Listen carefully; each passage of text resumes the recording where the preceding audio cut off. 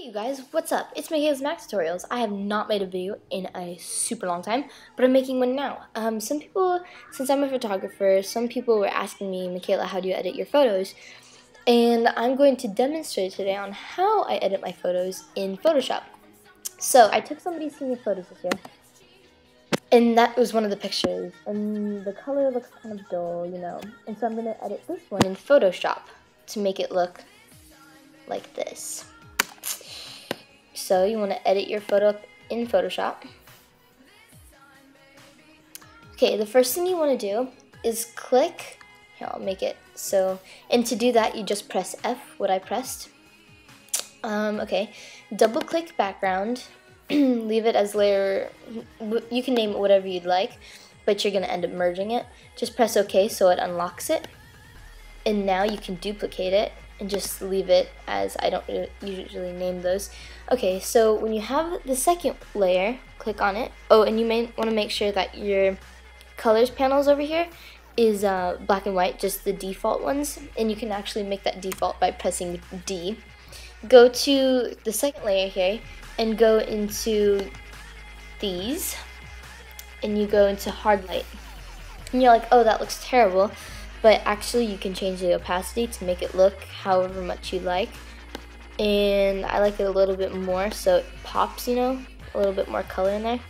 So now instead of looking like this you have it looking like this. And now I want you to you press when you're selected on this layer press shift and then select the sec or the first layer right click and go down to merge layers. So now that's one layer. Um, now, uh, I don't usually like this, like the background back here. Um, I usually like to have that a lot more blurrier. So you can go and select your selection tool and just select the back, let it load. And um, you might think that I actually blurred this side here. I actually didn't, that is part of the photo. Anyways, when you have this back selected, you could just go to blur and I'll just blur it a little bit and you could just do that blurriness to your liking. Um, one is fine for me.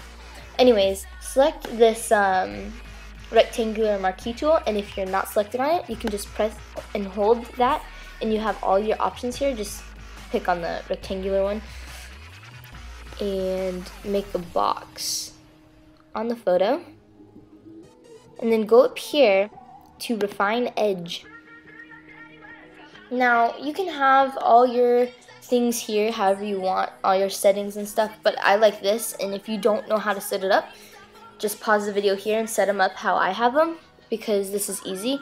Anyway, you want to make sure that your smooth is at 100 and your feather is um, all the way. Well, I like to have them all the way because it just looks better. And press OK and then it's gonna, you know, make all these selections and stuff.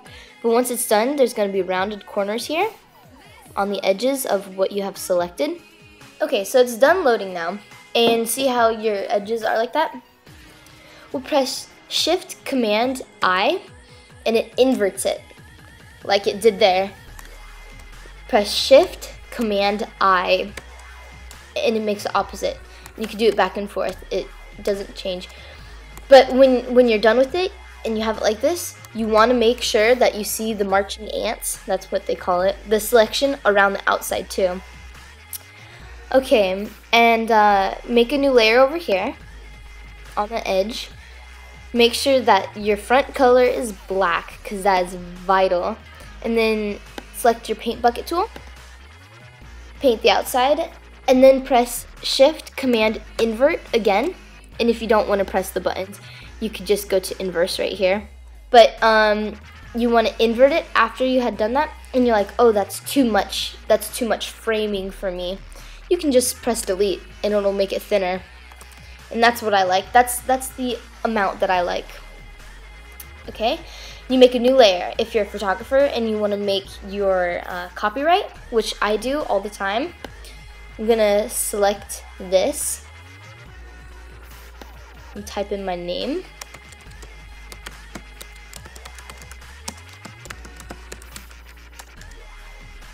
Um, And so I have mine and I have my specific font that I like to use. It's for my photography ones. And so um, you have to kind of choose a good place and I, I'm to put mine right here, um, but you can't see mine, so I'm to select my text tool. To change this to white, just press the double back button. Um, and there you go, there's my signature, and I'm like, oh, that's kind of, that's kind of a lot. So I'm just gonna change the opacity a little. So it doesn't come out too much. Um, I'm gonna make a new layer over here. And this guy's name is David. So I'm gonna switch these back to where that's black. I'm gonna type in, I'm gonna type in David 2011, because that's the year that you graduated. Um, select that, and then I'm going to select a nice little font for him. Hmm, this one looks good.